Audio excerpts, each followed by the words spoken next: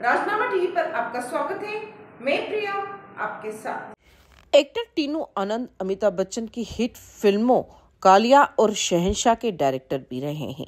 हाल ही में दिए गए इंटरव्यू में टीनू ने फ़िल्म कालिया से जुड़ा एक किस्सा सुनाया। टीनू ने अपने पिता राइटर इंदर राज आनंद से जुड़ा एक किस्सा शेयर किया, जिसमें उन्होंने एक ऐसे सीन का ज़िक्र किया, जिसे करने के लिए अमिताभ को काफ़ी स्ट्रगल करना पड़ा था। इस सीन में अमिताभ ठीक से उर्दू की कुछ लाइनें नहीं बोल पा रहे थे, जिसे लेकर टीनू के पिता ने उन्हें पूरे क्रू के सामने फटकार लगाई थी। एक इंटरव्यू में टीनू ने कहा, मेरे पापा को उर्दू की बहुत समझ थी। उस मामले में कोई उनसे विवाद नहीं कर सकता था। उन्होंने फ़िल्म के एक पार्टी सीन का डायलॉग लिखा था, जिसमें प्राण को जवाब देते हुए कालिया बने अमिताभ को कहना था, क्या नजा की तकलीफों में मज़ा, जब मौत ना जाए जवानी में? इसी के साथ बने रहिए राजनामा टीवी के साथ। धन्यवाद।